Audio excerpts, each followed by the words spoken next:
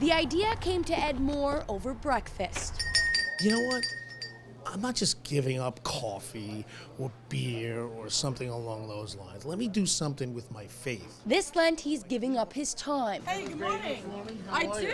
delivering what he calls Lenten bagels from his home on Long Island to St. Mary's Parish in Queens. I've seen green bagels for St. Patrick's Day, and I've seen pink bagels for breast cancer awareness. Why can't we get people to remember the Lenten season by having purple bagels?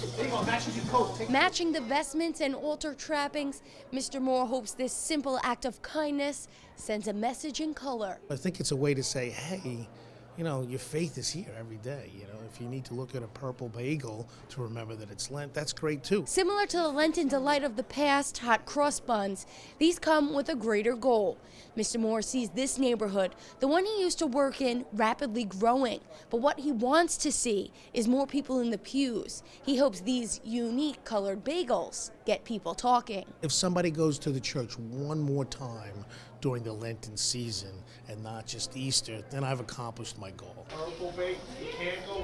With a few weeks left of the season, there's plenty of time to get a taste of this treat. I'm told it's sweeter and to come back to church. For Currents, I'm Michelle Powers.